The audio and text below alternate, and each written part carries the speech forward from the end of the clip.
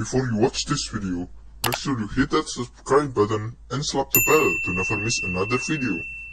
And also, if you like this video, make sure you smash that like button. After that, enjoy the video. Enjoy!